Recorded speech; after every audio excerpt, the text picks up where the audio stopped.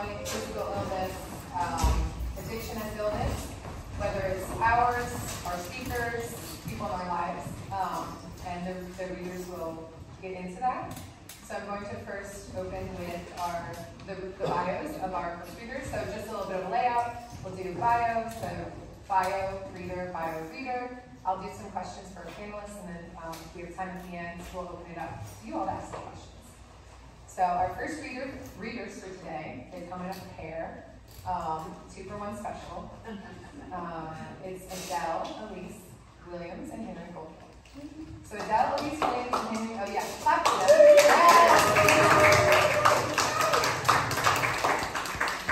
You did it, you guys exist, it's exciting. um, Adele, Elise Williams, and Henry Goldkamp are poets and friends, writing from Houston and New Orleans respectively. Williams acts as the nonfiction editor for Gulf Coast.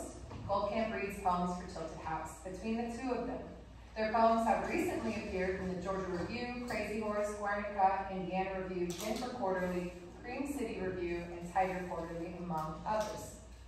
Together, they are at work on an experimental treatise on high, which examines cross currents between addiction and Christianity. Thank you for being here. Thank you. Yeah.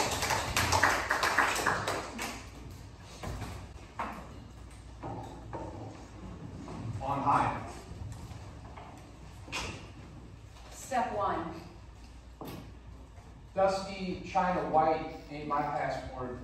I fly tar like vermin in a rat trap. A needle I need.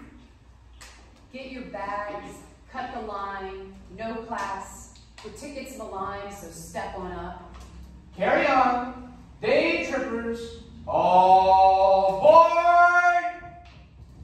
Cop some tar. Peep spots and things. Hey, how you doing? Hey, I'm good. You know? Hey, seen Skid around? Seen any fat pockets? Hey, now that Scooby pushed me on Main should be lit. Hey, do I look like a pussy? Like I dose for fun? Dude. Dope. Step two. Drag off a cerise camel, soon to nod, slob. Night of pyramid schemes, the sleight of palms, middlemen runneth over. Fancy fish out the rig kit, dope. But the knife and its lover, like super duper over the dune about it. Grab your spoon. I was just thinking that. So, let me go on. Bible, idiot, birth, lotto, ethos. Step three. Everything in the world asks for a blaze. Fervid pond scum, thirsty jerks, extinguished members of the conflagration. Pet me, bloodsucker. Now burn. Flick, pick. You ain't nothing but leech, extra, attar, praise, harem. Step four. The breakfast of champions, scuzzy field stars, pornographers both. Black butter on a biscuit. Katzenjammer, flapjacks, hot, brown, juice. Cooks often cook, so polish your plate. Snap, crackle, flop.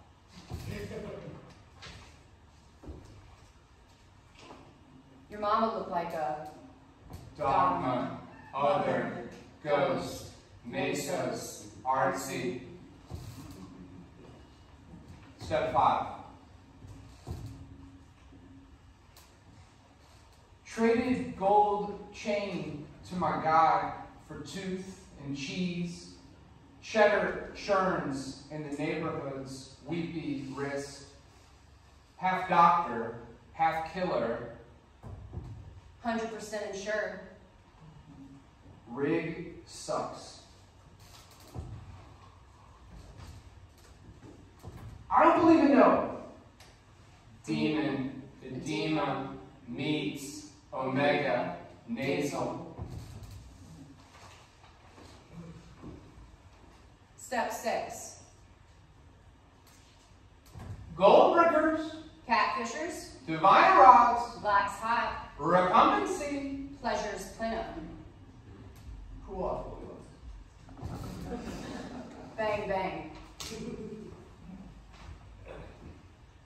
Head full of moonbeams, pocket full of Crack, wallow, aloof, cloak, Kafka. Step seven.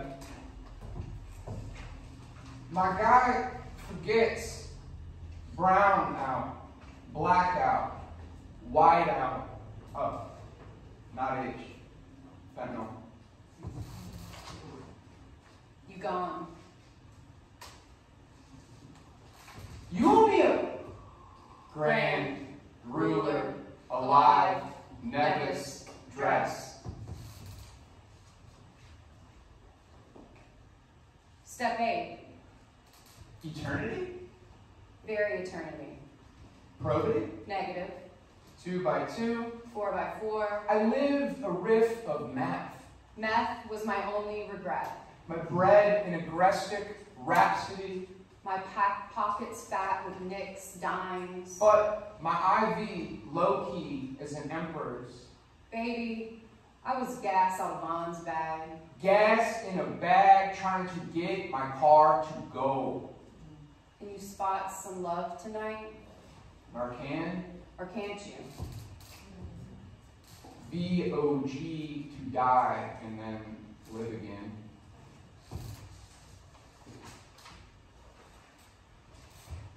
Al-Anon and Abaddon. Mainline, sticky slip, go, guide, go. Even dogs know how to lie, and everyone loves dogs. Respect the lies. My plane dead. Mom calls crying, says don't quit before the miracle happens. Addict, die that. Step down. Okay. Let her rip, paramedic. R I P. Thank you. Thank you.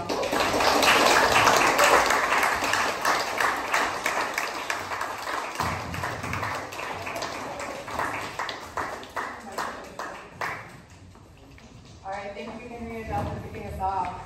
Next up, we have Mona Lisa Saloy.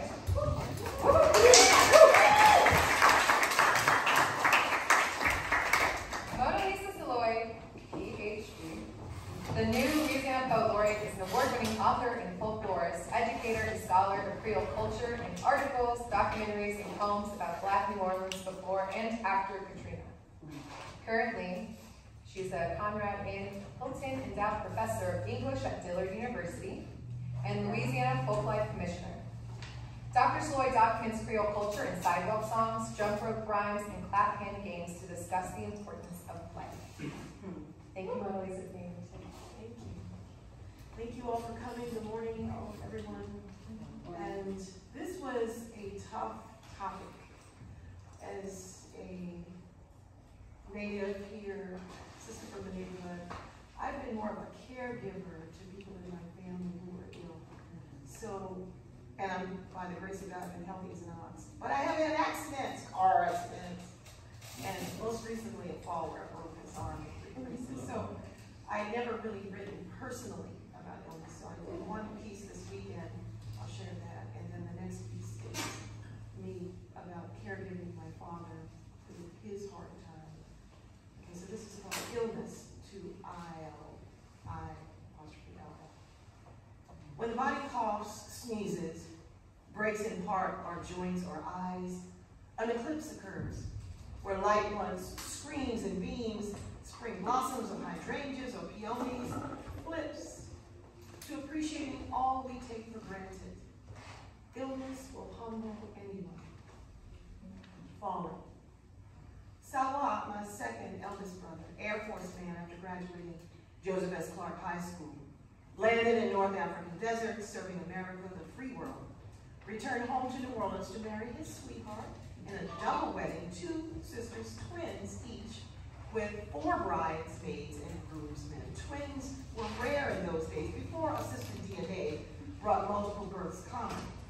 Mim, who sewed new dresses for every social and pleasure dance and winter ball, whether it was cowboy or cowgirl or black Creole society women now married, and moms raising bundles of loved girls and boys, many families.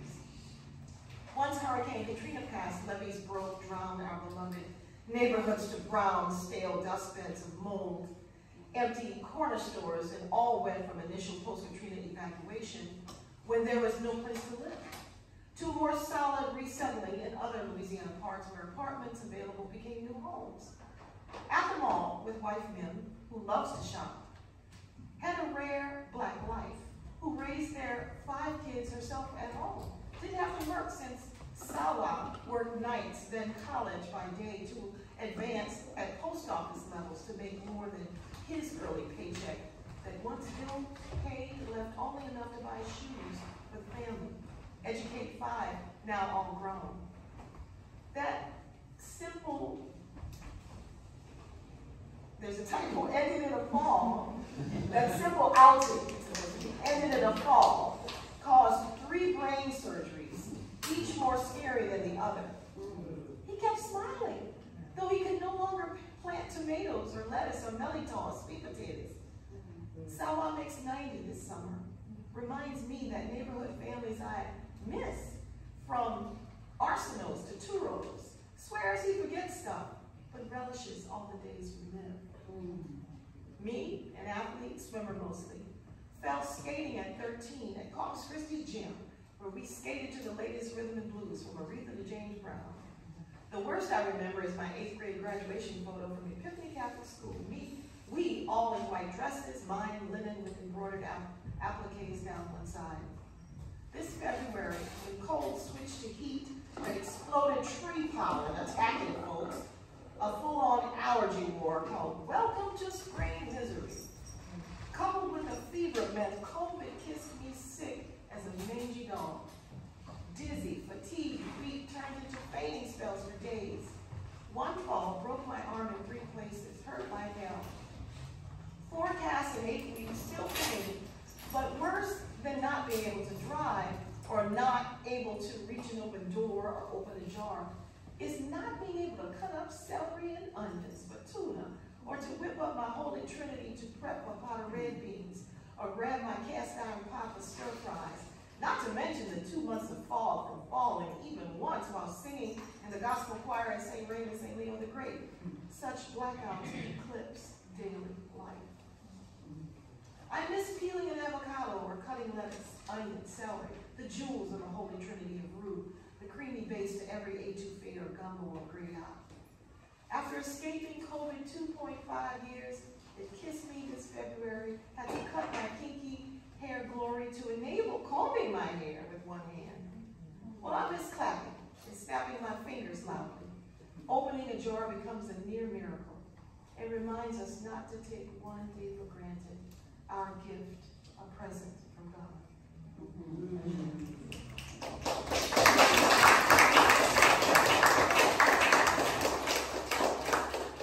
And as I said, I, was caregiving for my father for the last decade and a half of his life. I, just want to tell you, I had no idea what I was getting into. Not, not. This was home research, and a lot of stuff was going on, and it sort of unfolded like a horror movie. And it took me years to write this poem. years ago before the storm. It was hotter and more humid than now. The ink was not dry in my PhD. My family gave me a knockdown, dance-up backyard party. Cousins came from far. Elder neighbors who loved me through the hardest days of research and care of my. Through the crack epidemic that left daddy drooling from future red. A layer of moldy slime swimming across the top of the big black iron pot I found on the filthy mice and rat infested kitchen with only a piece of roof dangling, roaches flying from nest to nest like birds. My family remembered that crackheads stole everything not nailed down. Didn't leave daddy a pair of shoes.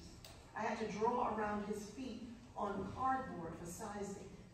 The shoe store clerk wanted security to remove me until I stood my ground and left with a tan pair of huaraches and slippers for Daddy. Doctors thought Daddy deaf and deteriorating from dementia, but he just closed his ears and leaking eyes to the disappointment he saw in his stepkids and the transient men who took over his home. His life with no hot running water, a broken toilet, the weeds growing through the bathroom floor from the dirt ground four feet below the clawfoot iron tub leaning through the broken floorboards rotten from neglect. Took me two years in and out of court to get rid of those niggas. It was the filth and poor nutrition on top of it that diminished this World War II Army sergeant, master carpenter, into a man who babbled, and slobbered, who forgot who he knew, my dad. We used to dance with my mother and shuck oysters at our backyard parties growing up. Had no idea what I walked into. Just rolled his 300 pound body in sheets to clean him and changed bed linens until the shower was installed. His first shower since his army days, he said. He was happy again and came back to himself fully for years, returning to stand guard on the front porch and greet family and neighbors, or what we call dope hopping, talk stuff about passersby. Even his doctors were shocked, but we all knew it was only God in the line prayers. My new college coll colleagues, friends, and professors, now friends, came and ate Buster's Clarines and Andrew's banana salsa bread pudding with us, and danced the second line with us on Dual Street in AP Tour, laughing faces and tuned to the birds. I'm a Joe Casanova. Me and Romeo ain't never been friends. Can't you see how much I really love you? Gonna say it to you time and time again. Oh, Casanova, they thought my family was celebrating my degree. My cousin Larry said this backyard bash took him to our own parties and everybody came for me not for a wedding or a funeral. Big, big. Nobody got married and nobody died, Larry shouted. It came from me, for watching me love Daddy back to health, back to himself, back to our family. And yes, the PhD of family first, bringing us all together the way we were all raised. Only God, he said, only God. Cicadas sang through the evening, serenading the nights, until stopped only days later by Hurricane Katrina fanned across the Gulf. That was our family's last time all together with long-term elders, Moshe, jazz crooner, the fishnet making layons, and great gumbo cerise no longer here. I told my family, maybe I'll write a novel about those hard days of waking up to a strawberry crackhead whore, peering over the African beads on my dresser, and daddy with no shoes. I'll change the names to protect the guilty. It was hotter and more humid years ago. The last time our family was all together, when nobody died and no one was married. I'm a Joe Casanova. Thank you.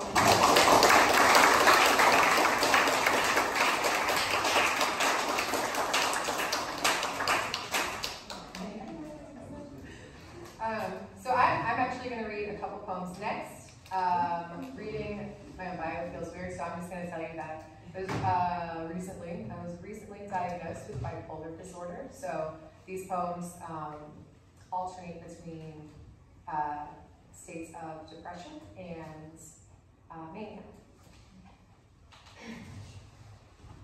And because Mona Lisa said peonies, I'm going to read my peonies poem first. Peonies.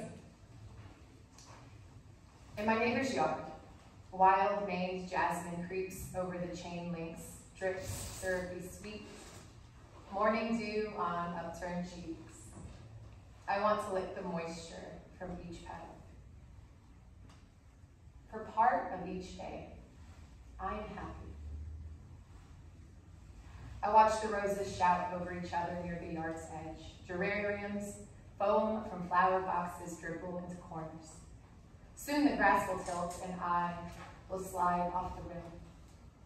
The sky flips over to sun its other side. Somewhere, someone else pinches the head of grief, twists the body, sucks it dry. No. What I want to write about is peonies.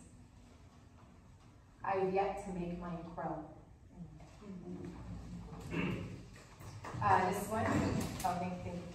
Um, this one is called On the Third Day of Mania. Steady humdrum as if peeking from the rim of an AR-15. Clack, clack, clack, and the snare's cadence is fucking the world flimsy. I ought to peel you back and expose the pink in you. My serrated roar, loud enough to burst holes in your aliveness, and the ceiling slips a leg out.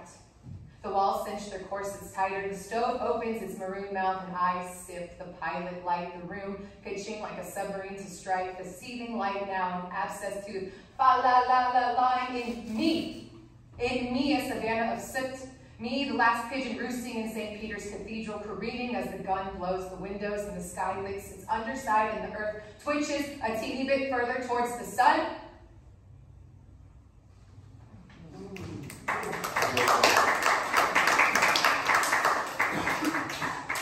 Uh, this one is the Swan Mallows Lean and Listen.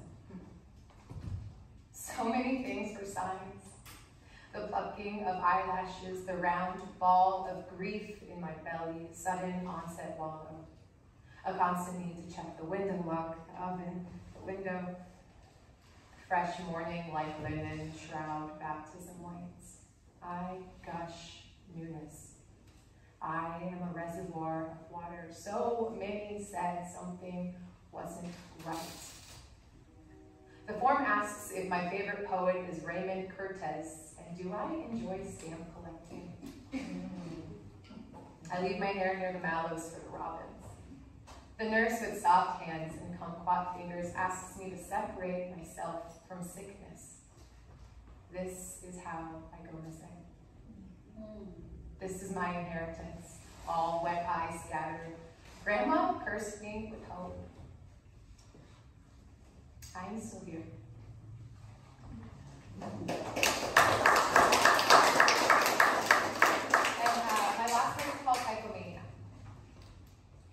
Morning wilts into evening, and the fig tree is heavy with burden, and the chickadees got God in their mouths, and I come from swamp mallows, and I am one and a half lab rat, and the taste of tomorrow in my full lip quiver. And I tried sitting down, and it didn't agree with me, and the oak tree disguised itself as a chestnut tree, and the men next door have hooks for fingers and vacuums for eyes, and I have an inconveniently trembling hand, and I don't want to come back. Mm, one time was enough. Thank you.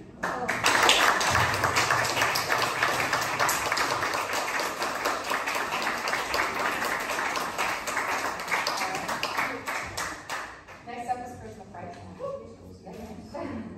Karisma Price is from New Orleans, Louisiana, and holds an MFA in poetry from New York University. Her work has appeared in Poetry, Four-Way Review, Wildness, and elsewhere.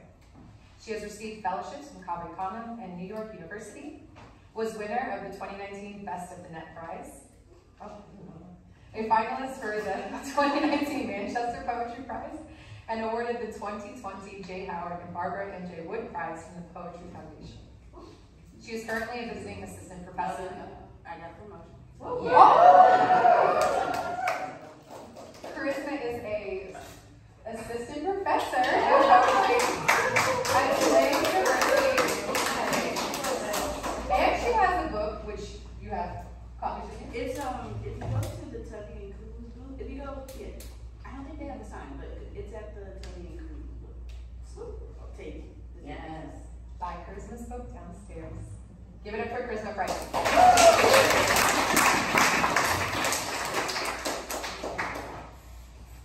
I'm sure. Can, can everyone hear me like this? Cool. Alright.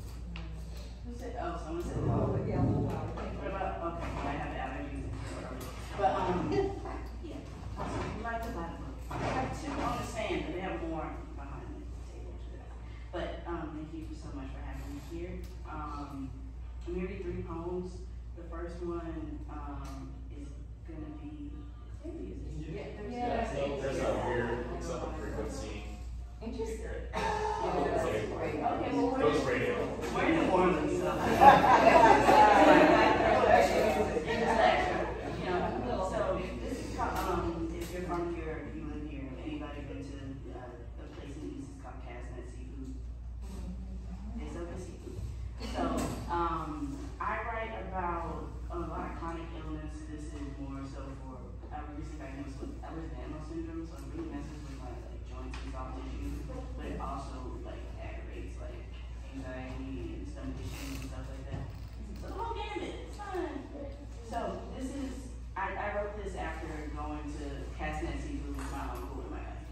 all you need to know.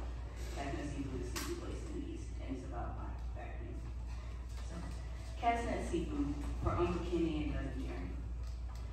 According to the local news station, the blue crawfish is a rare thing to find, yet it watches us from the tank of the market, spared from a boil of seasoned death, unlike his red friends. My uncle says joy is the opposite of running into a dagger, and I realize I am not the most poetic family member who has pain. Jay and I crack the spines of the crawfish not lucky enough to be blue. The deeper the blues, the more I see black play above my head at the chiropractor the day before. Stubborn, I call my back. Subluxation, the medical journal says. Three times a week, my chiropractor calls the forceful movement of my misalignment a healthy crack. Like bullies, hemorrhaging power, we look forward to making me almost break. I love my family, unlike my back. Before we got here, Jay threaded amber and jade and lapis into a necklace he made for me match the cover of the book where I've written my name. He moves outside his box, newly freed. He loves movement. Says he understands that toxic masculinity means to want to pinch your claws around any smaller crustacean. I am the third most group. He loves the neon of the crawfish. We Google what makes it blue and we suck the sadness out of our conversation. Like luck, blues can spare any life if you it, but it will leave you as lonely as the crawfish in the tank. I wonder what family the mudbug came from. Were they a proud bunch? Had the brightest shells in their swamp? Did this little blue bug love his looks, or did he burrow deeper into the mud because he couldn't handle the attention he attracted? We chew the back meat of the unlucky things, stewed in the love that surrounds us like a pot with our spines and heads still attached. Look at what the brain makes the muscles. Remember, joy is the membrane covering us, the tissue that keeps a family situated around the table when they could be running from one another. My uncle taps the murky glass to make the orphan thing move. He turns to us. Could you imagine us living like that? All hard on the outside with an exoskeleton? No, no, I can't. There's so much in us we fall apart.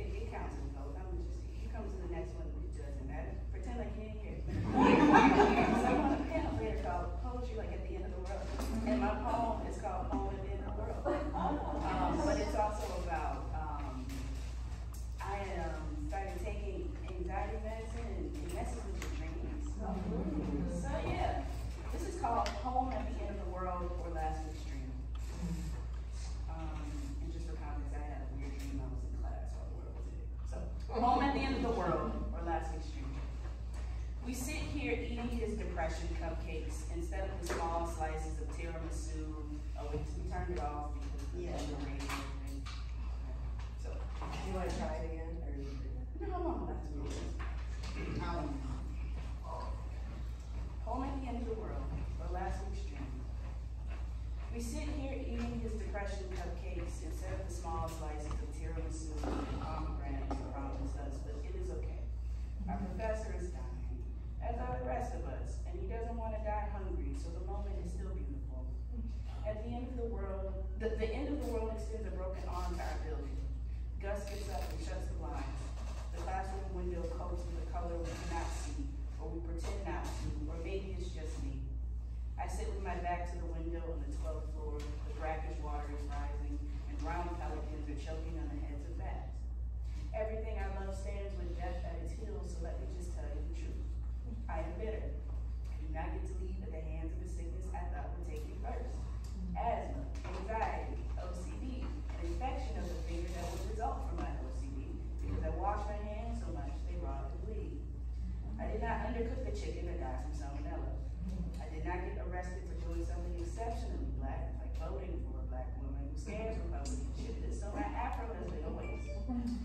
There have been, there's never been a gas in the apartment, and I'm restocked with toilet paper, because there's a possibility I might come back as a ghost, and my ghost self may have the same stomach issues as my flesh self. I sit with my back to the window, and I still remember the name of my childhood best friend.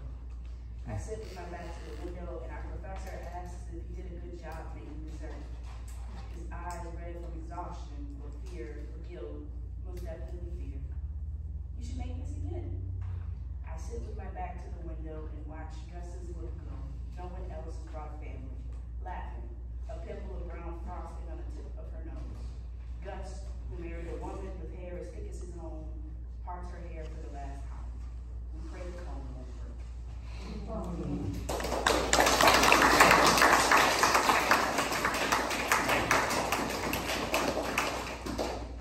Thank you, Karisma. Um, sorry about the ghost in the video.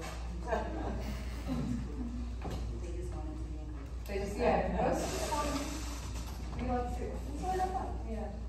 All right, our last reader for today, um, is Carolyn Hembree. Thank you for being here, Carolyn. Carolyn Hembree's third collection for today will be published by LSU Press in twenty twenty-four. As part of their, yeah. Very, very exciting. She is also the author of Rigging a Chevy into a Time Machine and Other Ways to Escape a Plague, Trio House Press, 2015. Winner of the 2015 Trio Award and the 2015 Rochelle Ratner Memorial Award. And Kore Press, 2012. She received a 2016-2017 Atlas Grant from the Louisiana Board of Regents and has also received grants and fellowships from Penn, the Louisiana Division of the Arts, and the Southern Arts Federation. A professor in the MFA program at the University of New Orleans, she was awarded the 2017 International Alumni Association Excellence in Teaching Award. Carolyn serves as poetry editor at Fighting Magazine. Give it up for Carolyn. Thank you, thank you, Nikki, um, and thanks to everybody who's reading. Thanks most of all, Nikki, for having me follow people who are reading. I'm gonna stand up too, since, uh, though I think that the music, uh, coming through here, these, these vibrations, might have actually been kind of nice mood music for at least the first poem I'm gonna read. Um, which is from rigging a Chevy into a time machine and other ways gonna read two poems. And this one is, um, hey, hey. Uh, this one is from, uh, it's a documentary-ish, kind of mock documentary thing. I bullshit it where I needed to. Uh, poem, uh, called Why Do We Remember the Past and Not the Future, which is, uh, comes from the, uh, documentary dumbed down version of, uh, uh, Stephen Hawking's History of Time. And, uh, just read a little excerpt from, from that. And a documentary, uh, inheritability, implications of that inside of a family, all kinds of crazy stuff. May 20th, 1901, truss bridge fails. Steam locomotive falls in Red River of the South. My great grandfather on my father's side escaped through a sleeper window which cut his legs to the bone. His wife, Ada, talked army doctors out of transfemoral amputation. Now, who knew what the fuck they were doing back then? They'd hack off anything. 1958, the minute cancer spread from her breast to her spine, they cut the nerves to my mother's grandmother's legs. Ada, I'm told, took him to Oklahoma and dressed the wound. They had iodine, they had gauze, they had Johnson and Johnson. She saved both legs. Imagine the phantoms, phantom limbs. Rare earth magnets more than likely cure the sensation. Discover a 100,000 year old bloodstone and magnetite mine, locals used for ailments. Magnets in the brains of birds, hardwired to flock south, to fly. When you will your free will away. 1953. They would sew the Metzenbaum scissors inside a polycystic great aunt by marriage. Did my great grandfather in the river remember before he was born? Remember his body hid in a cloud? Now, uh, I'll read one more poem. Uh, this, uh, is from forthcoming book, shit, you know, it's just, I'm sorry, I do cuss a lot. And it's earlier in the morning or later in the night, it just gets worse. You know, my daddy cussed like a sailor, and I cuss like a sailor. Is this new work? Uh, no, no, I mean, I'm reading new work later today, but this, for the illness seems. I was gonna say, new work?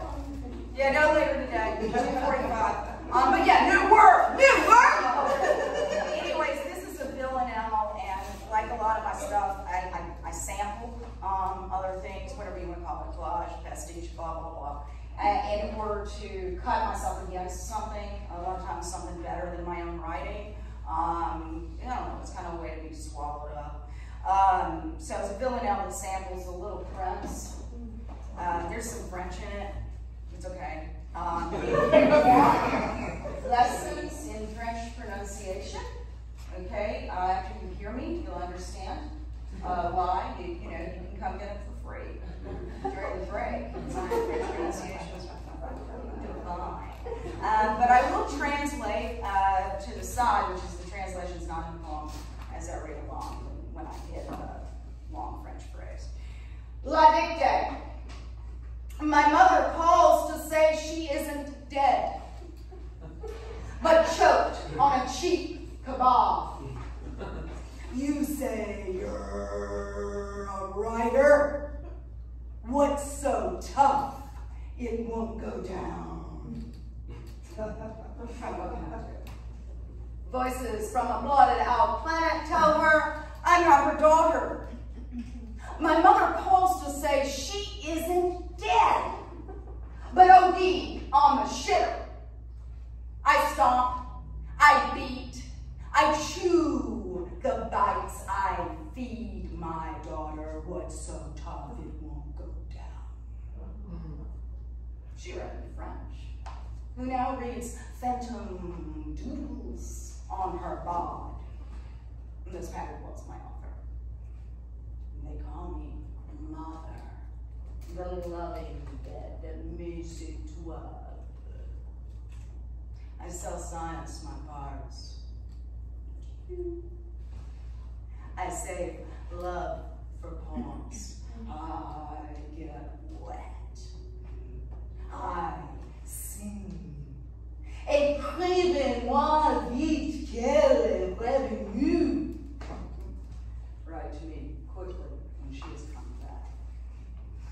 Students dissect the pearly tissue that held these bones. My cadaver.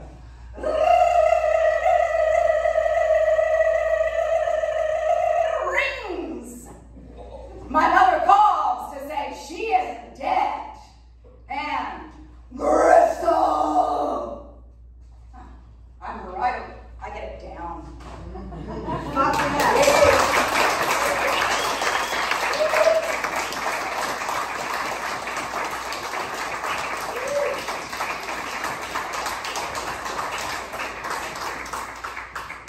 So this is the panel, so we've got some questions, um, and then hopefully some time at the end. So I'm gonna start with our first readers. Yes. Um, so the projection you all saw, the poems that they read, um, extremely difficult and restrictive form. Uh, why did you choose such a restrictive form to write about addiction and religion specifically? So we worked with a variety of forms actually, and then some um, other poems in the, in the manuscript, which are formless or in made up forms. But the two that we presented today um, are John Cage's The Experimental And and Sator Square. I'm just gonna, just because the visual's gone, I'm just gonna give you the raw. If y'all just wanna pass these around, there's only 17 of them, but at least you have a visual on how these work in case as you well, missed it. that's Okay. helpful. So yeah, maybe start on that side, just so you can kind of see what's happening. Yes. Everybody can just take one at random, because it all, it's all the same form essentially. So the Sator Square, right, is um, the words horizontally and vertically aligned and working kind of in that capacity um, and repetition. And then the Mesostic has our lyric horizontally across the page and vertical language down the page. And I think it'd be kind of an easy answer, or perhaps before I even do that, some history. Just very quickly on the Sator Square, which is uh, a Roman era artifact. It's been investigated and, you know, really of, interest to a variety of like archaeologists and religious parties. Um, it's understood by some as a Jewish symbol. Uh, it was adopted by Christianity in the sixth century. and There's a lot more kind of versions of it, or a variety of versions of it in that context. But it's generally understood to be a Roman word puzzle. Um, though it did, you know, it is mystically imbued. Um, it was used historically or often as a type of cure or to extinguish fire, so it has this kind of magical realism about it. So that's that's the Sator. If you want to talk quickly about the Mesostic. So the Mesostic was John Cage's uh, 1971. He invented this form, which is basically just you know the acrostic poem where you spell like a name down on the first line. Well, he kicked it over to the middle, and so the only restriction there for a what he called a 100% Mesostic was in between the, the primary letter of the first and second line. You can't use those letters in between those those capitalized letters, as you'll see in, if you have a Mesostic handout rather than the, the uh, Sator Square uh, word square poem. And um, and so really that that sort of both of these forms are kind of doing a similar thing that matches this idea of writing about addiction and the experience of addiction, and uh, that there's sort of not exactly a chance operation to it, but a faded operation to it. You can't help but, like for instance, especially with the, the word square poems, you can't, you get forced into that final word or the final two, you know, the final, the fourth or fifth word, it just forces itself out. It's the only thing that will work. It's backing you into a corner. Um, and so I think that that sort of loss of control with language, I think is a nice compliment to uh, our shared experience with.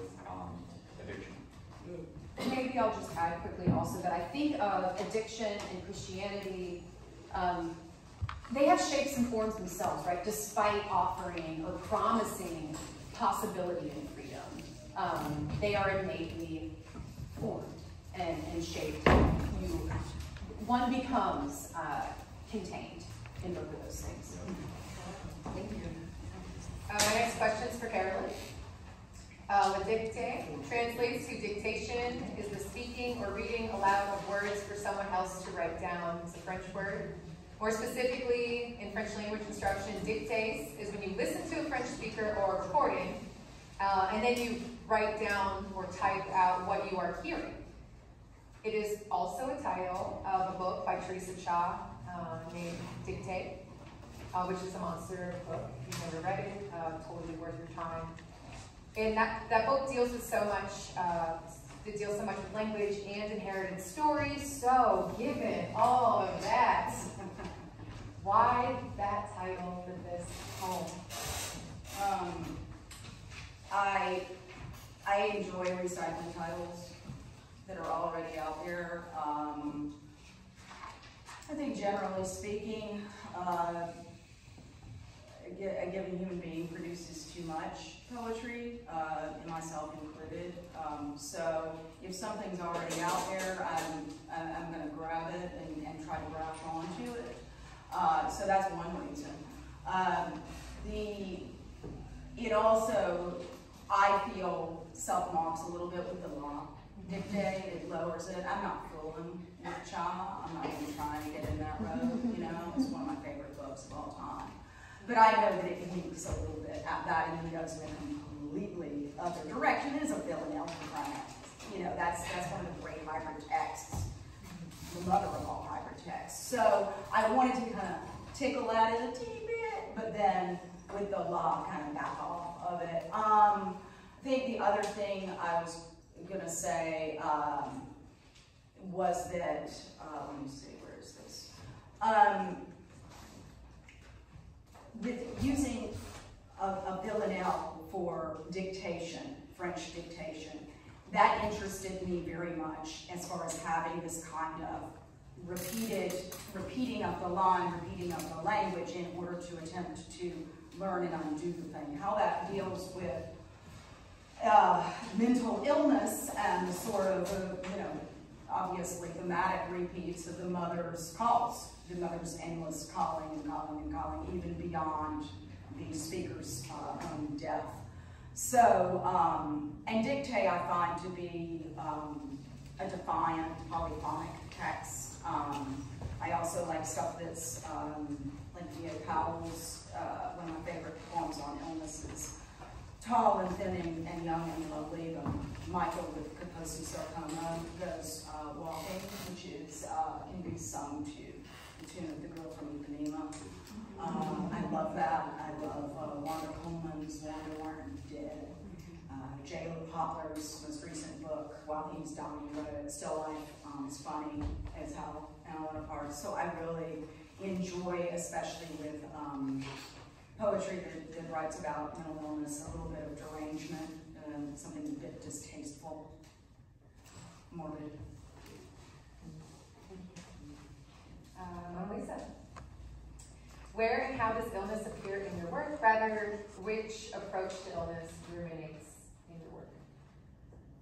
stories, narratives of what I witnessed, and it was humbling and really gratifying to get to learn my my elders as an adult. We love them as children, but we don't know who they are. and when uh, you're grown and you interact and you hear what really happened to them, and you see of course, you saw them vibrant and young, and then you see them age, and it's just such a lesson. So I try to capture those narratives, which was why it was important for me to captured halftime, I thought. Because it wasn't his fault. He, you know, was, he was a victim of the crap at, at, but it really took a physical and psych- psychological toll on them, unfortunately. So, the stories.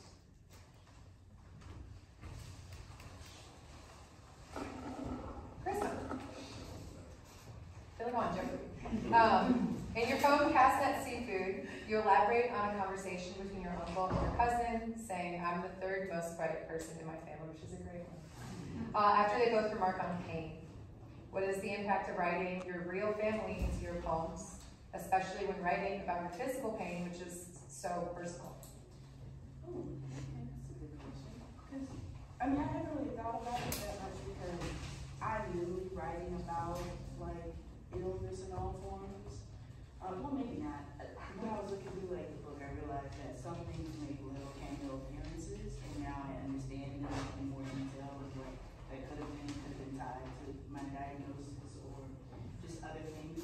So when I was first writing poems, I didn't really share them with anybody. Like when my book came out, it was like the first time like a big group of my family like actually heard my work. Besides like my mom and maybe like an uncle or a cousin, they heard maybe like one or two poems out in the thesis reading. That was like the first time they really got to see me as like this writer. And I sort of did that on purpose, not because I was saying anything better or anything, but writing is like a space where I get to talk and respond to myself. And I, I just didn't want anyone to really take that away from me. It's the one thing that I have, so I really guarded it.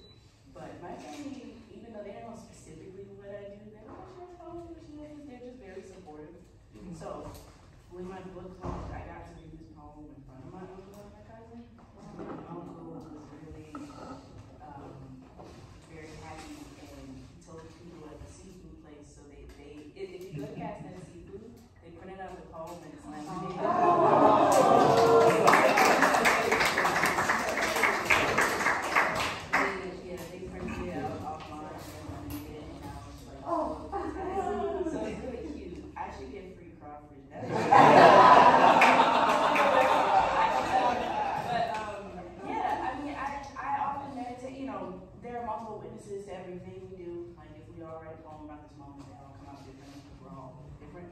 So the active witness, I think for me, um, the impact of writing my real family, you know, I also write about like chosen family as well. But, um, you were, I just never want to be, I don't know if selfish is the right word, but it's just like, there's so, you are never the only witness to something, even though you may feel alone um, the way you witness it is distinct, though. So I like to include people, whether it's family, other people, historical people, because um, it, it does a disservice to the moment to be the only witness, because that's never, it's not true.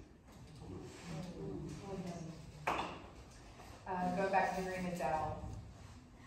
Uh, much of your collection is polyphonic, though for so many, addiction and illness feels like a personal and lonely thing. Why choose to have multiple voices, not only within the work, but the fact that you're doing this together? Um, throughout the collection, and then within the individual poems, we saw the way that you read it, we saw the way that it's presented. There's a, um, it- it's very polyphonic, which means multiple voices. So why choose to use that to represent addiction? Uh, going, going back to John Cage, the uh, quote that I, I really enjoyed and had in mind while collaborating with Adele on these is that the poem is first and foremost a sound and visual system. And so that is to say, it's not language, right? It's the senses. Um, and so being rooted in that sort of, the, the sort of sensory element um, through language, I think sets it up to just be more reminiscent of what that time was like. Uh, that then kind of you start, you know, the idea of visions um, un, under sort of a, a in, in such a state. Um, and I think that what we're really trying to do with this is just objectify the experience and, and, and put it outside of morality. Um, and so we kind of do push against that sort of really overarching Christian framework that addiction is often put in, especially recovery, right? It's always sort of in that mode. So we're trying to really take that out which you, there's another John Cage quote that really, what was that one that you, um, just to completely make it an opposite, right? Or, um, Uh, what I'm trying, and this is what he says about the Gnostics specifically, what I'm trying to do is to get our minds open so that people don't see things as being ugly or beautiful, but we see them just as they are. Um, which has been critical. right, so that's, that's our JC, right? It's not, it's not Jesus Christ here, it's John Cage. And so, so what I'm saying, all, all jokes aside though, there is sort of an admirable quality to the idea of, well, Carolyn's already opened the floor, I was going to say effed up, but the, really the, the quality of getting fucked up. All of humanity, since, since they figured out, has gotten fucked up. And really what's at the root of that, though, is a desire to change the world. And, and for better or for worse. Now, when you sort of, you know, you have these two worlds, you're getting fucked up, and you kind of break them apart, well, addiction is when I think these worlds fully separate. And now there's only one thing in which can save the world, right? Well, then it becomes a matter of like, well, what's, you know, social systems of saying, well, what's a good addiction and what's a bad addiction? Somebody can be addicted to Christ, right, or Christianity. They can be addicted to God, but that's that's no problem. That's okay.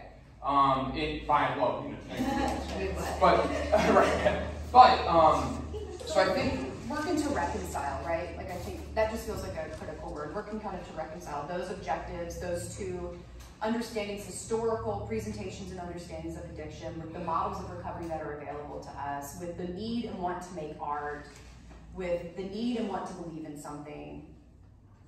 And also that it's sort of not really as lonely as it seems, right? I mean, it's sort of there's all everyone around the world. I mean, everybody's got coffee this morning. Everybody's you know some Right. some form of trying to get it together and make make it tolerable. Make it tolerable. And and pushing, I mean, the you once and I'll close with this if I feel like we're just gonna go on. But the uh, the idea of an anonymous, right, addicted body, um, which is something you've said in the past when we're talking about our project, feels really important. And then pushing up against like the anonymous stereotypical addicted body, right? What can we learn from playing with that, or not, or unlearn? Um, I have a question for the whole group, because you mentioned play. So I actually wrote this question for you all and for Lisa, but I think everyone on the panel. Um, your work could be interpreted to some extent as playful. The form and the way you all read, Carolyn, the way that you read, people relax with it. It's a very serious subject matter. Um, Karisma and Mona Lisa, you guys are weaving in family stories and sometimes funny quotes. And Mona Lisa specifically, you you incorporate like actual play, sidewalk songs, um, but sidewalk songs and um, songs in general and things like that. So all of you have, have played differently today, but why is it important, or why do you choose to play, especially when the subject matter is so serious? And anyone can open the floor with that. I'm gonna make a joke because I'm funny. no, but, um, hey, no, people think, I mean, the title is tongue in cheek. I'm not always serious. the title started because there are five poems in the book that are called I'm Always So Serious, but it's because some people are like, oh, you have a really mean resting face. I'm like, oh, thanks. you know, so it's just like, you know, sometimes it, it's, it's just like, it, it started very sarcastically, tongue in cheek, but it's like, oh, there are things to be serious about. There are things that people perceive that, you know, I'm serious about, which I'm just like chilling. And it could be just like, oh, you have a mean resting. It's like, oh, well, maybe my back hurts and I'm just existing. So for me, I think it's playful because uh, music also influences my work a lot. And um, although you can't really like I have like a poem that's like in the shape of like a boom box. I have some that like goes across the page. I have some that goes like down like this. I just think it's fun to take up as much space on the page as possible and be playful because there are so many like different types of poetry and forms that haven't even been like invented yet or even you know can't be contained on like paper. So I think it's important. I don't want to bore myself because if I bore myself, I feel like I will bore the reader. So for me, you know, with form, there's the same like form matching content. Sometimes when we're talking about heavy stuff, we do have to kind of balance that, but also that idea of playfulness. I would like music and similar to um, Dr. Saloy. Like I, um, yeah, I grew up with parents. They they knew each other since like the third grade, so they're friends. Um, were their friends, so it was like they all was talking about the same thing, so, um, I called my parents the first poets, because they, you know, it's a, it's very like an oral tradition, and oral tradition is story, the first poems are oral, so talking and songs and music, and then there's just, um, I don't know, just, I mean, we all, people have different accents and dialects, so everything is playful if we really,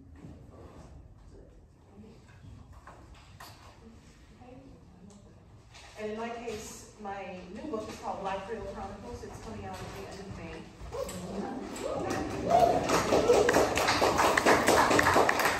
And so, it's our culture. It's our traditions.